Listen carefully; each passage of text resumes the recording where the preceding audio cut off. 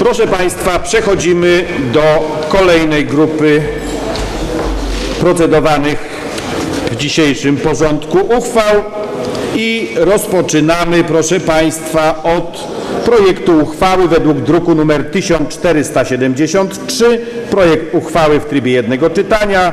Zgodnie z paragrafem 34 ust. 2 Statutu Miasta Krakowa do projektu uchwały według druku nr 1473 minął termin zgłoszenia autopoprawek, a termin zgłoszenia poprawek wyznaczam do czasu zakończenia dyskusji nad projektem. Proszę o składanie poprawek w zakreślonym terminie do przewodniczącego prowadzącego obrady.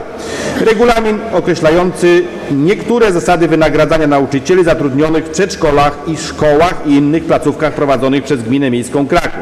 Projekt prezydenta miasta Krakowa, druk nr 1473, tryb jednego czytania, referuje pani dyrektor Anna Korfel-Jasińska. Panie Przewodniczący, Wysoka Rado. Obecnie obowiązujący regulamin wynagradzania nauczycieli został uchwa- uchwalony w 2009 roku. Niemniej jednak e, dyrektorzy, związki zawodowe, nauczyciele zgłaszali, zgłaszali postulaty e, zmierzające do e, zmiany, modyfikacji tego regulaminu.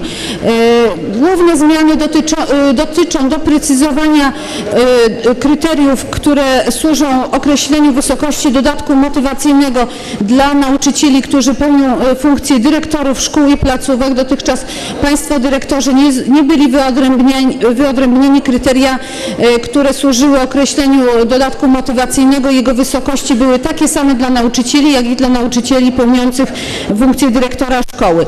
E, Kolejną kwestią, która uległa zmianie, to jest odniesienie się nie do wynagrodzenia zasadniczego nauczycieli przy przyznawaniu dodatku motywacyjnego, ale do, do kwoty bazowej i do stawki bazowej. To był również postulat zgłaszany przez Państwa dyrektorów. E, Oczywiście kwestią, e, do, e, która została uproszczona jest również dodatek funkcyjny dla stanowisk kierowniczych. Katalog został, został nieco zmniejszony, jest myślę bardziej, bardziej łatwy, bardziej, bardziej czytelny. Regulamin, projekt regulaminu został uzgodniony ze wszystkimi związkami zawodowymi, które działają w oświacie i skupiają nauczycieli. Dziękuję bardzo. Dziękuję pani dyrektor. W trybie statutowym do projektu została zgłoszona autopoprawka, która została doręczona 23 października 2013, a zatem proszę państwa również w tej kwestii pozytywną opinię wyraziła Komisja Edukacji. Czy są stanowiska innych komisji? Nie widzę. Stanowiska klubów radnych? Nie widzę. Otwieram zatem dyskusję. Kto z państwa radnych chciałby zabrać w tym punkcie głos? Nie widzę. Zatem zgodnie z paragrafem 36 ust. 1 punkt 6 Statutu Miasta Krakowa zamykam dyskusję, która oznacza zakończenie czytania projektu.